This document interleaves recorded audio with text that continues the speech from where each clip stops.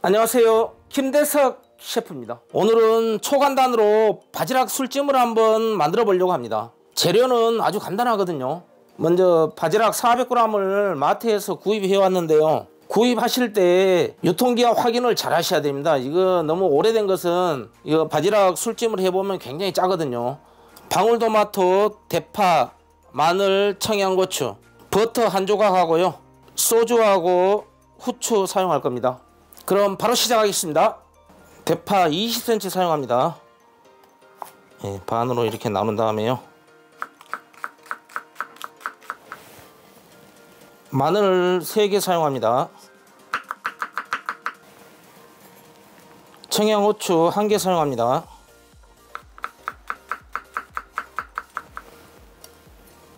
먼저 식용유 2스푼 정도 두른 다음에요. 아까 편선 마늘을 넣어줍니다.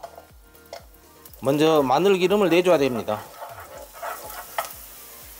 예, 마늘이 어느 정도 볶아졌을 때 대파를 3분의 2만 넣어줍니다.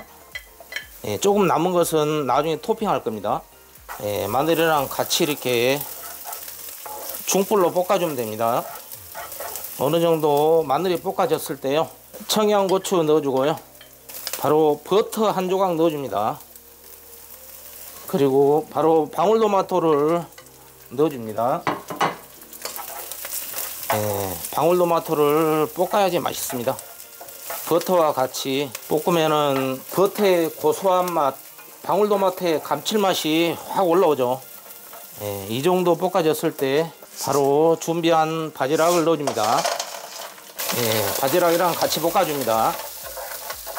이 정도 볶아졌을 때 소주 종이컵 반 컵 정도 붓겠습니다. 그 다음에 물 종이컵 4분의 1컵 붓습니다. 그리고 뚜껑 닫고 2분만 센 불로 하면은 딱 알맞습니다. 2분 이상 하면은 바지락이 질겨집니다. 기다리겠습니다. 이야 맛있게 됐네요. 이야 드디어 바지락 술찜 완성이 되었습니다. 예, 가스불 끄고요. 그릇에 한번 담아 보겠습니다.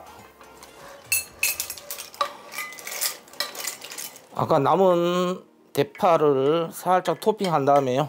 후추 이렇게 살짝 두 꼬집만 딱 하면 됩니다. 드디어 초간단 바지락 술찜이 완성이 되었습니다. 방울토마토의 감칠맛 그리고 바지락의 담백한 맛은 정말 잊을 수 없을 겁니다. 꼭 한번 해보십시오. 이 영상이 마음에 드신다면 구독과 좋아요 부탁드리겠습니다. 지금까지 김대석 셰프였습니다.